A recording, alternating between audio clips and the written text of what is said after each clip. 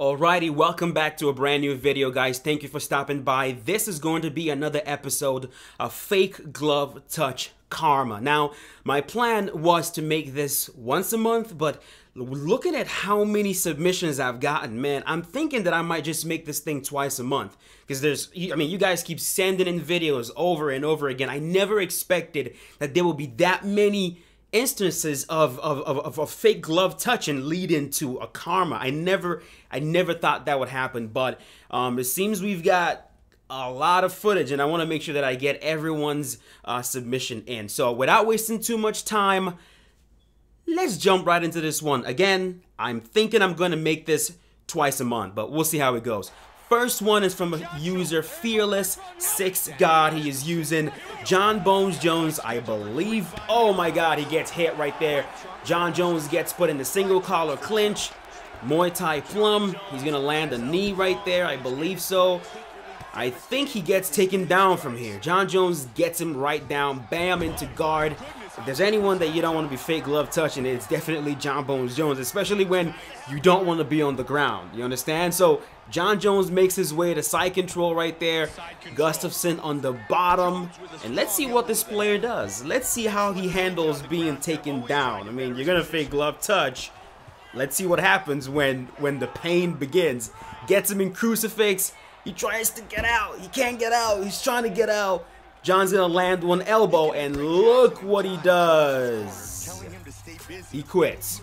Typical, typical, he quits.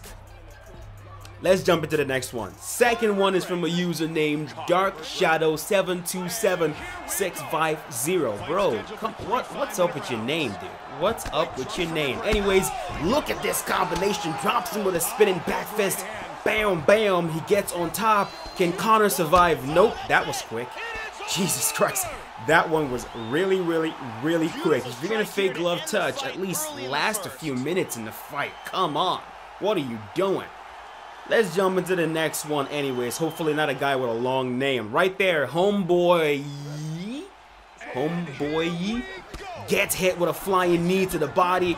Gets hit with a crane kick. That's that's that's two. That's two strikes right there. Two strikes right there. Let's see if he pays for it. He gets hurt.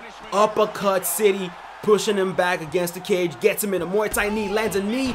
He's going to get on top and pound him out. Oh, my God, bro usually, man, when when you get fake glove touch like that, they usually go for a flying knee or a crane kick or a head kick. It seems those are the three strikes you mostly see. Flying knee, either to the head or to the body, head kick or crane kick. And uh, Homeboy made this, he, he made this dude pay. I believe we have one more fight right there. One more from Homeboy.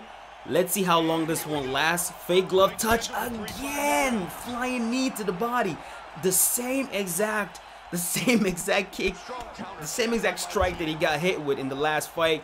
He gets him in the in the Muay Thai plum. Let's see if he's able to finish him this time. Bam! Takes him to the ground. That's a beautiful takedown animation. He's in backside, landing a few strikes. Side control. He gets reversed. Very interesting. Dude, I, it's been a long time since I saw that reversal. Almost forgot it's in, it's in the actual game. he gets hit with an axe kick and knocks him right back down. Muay Thai Plum, he's able to escape Muay Thai Plum. Let's see what happens here. Gets him in the in the Muay Thai Plum against the cage. He escapes. Okay. Hook, hook, bam, look at that. Hits him in the body with a beautiful kick. Roundhouse to the body. This is a longer fight here. Let's see what happens. Let's see what he gets him with. He gets tripped. He gets tripped on his back again. Get up, boy. Get up, homeboy. Parries that one.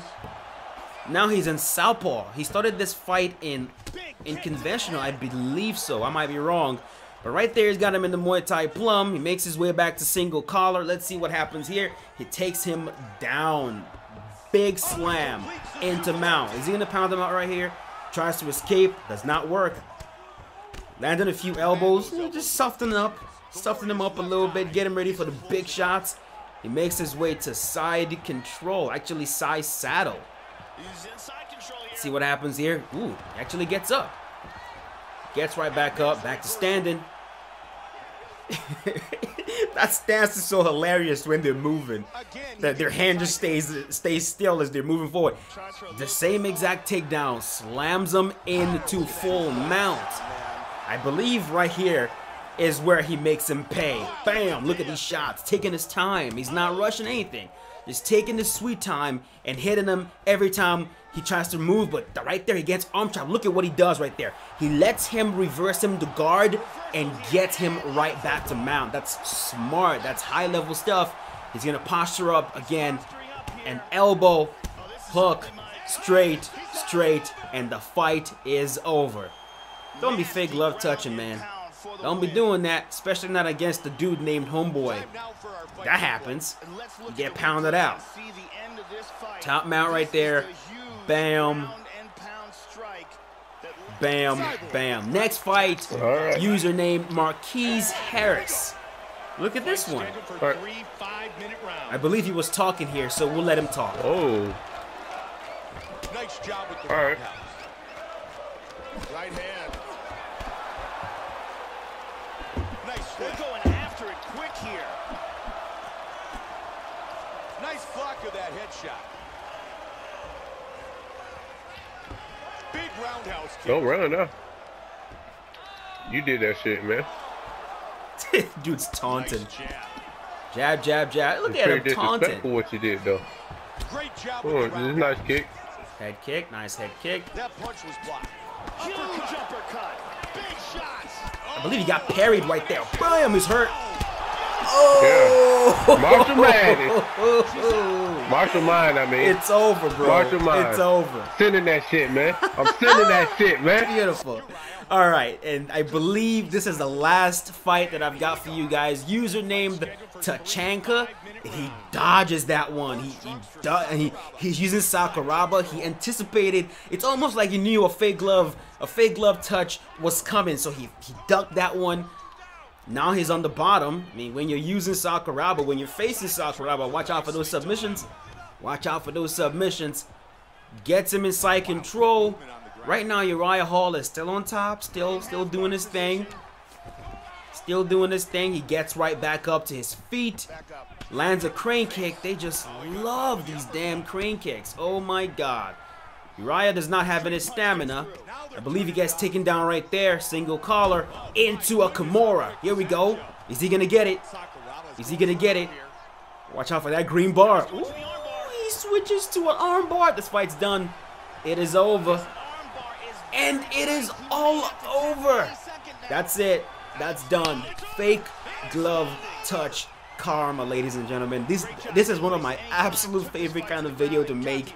I love seeing how you you players react when you start a fight and someone does that. Because I mean, if you're not used to it, if it if it hasn't happened to you a lot, it can be pretty frustrating. It can really, really get you off your game, especially when you're trying to be nice, you're trying to be respectful, trying to. I mean, I get, I understand it's a video game. It's just a video game, so you shouldn't really take it that seriously. But man, if, if I'm trying to touch your gloves and you hit me, uh, you know, if, if I can, I'm, I'm, I'm really gonna make your life a living hell after that. So I really appreciate all the submissions. Keep them coming in. Like I said, I'm going to. in, I'm going to increase this to twice a month. And oh my God, I can't wait for UFC 3.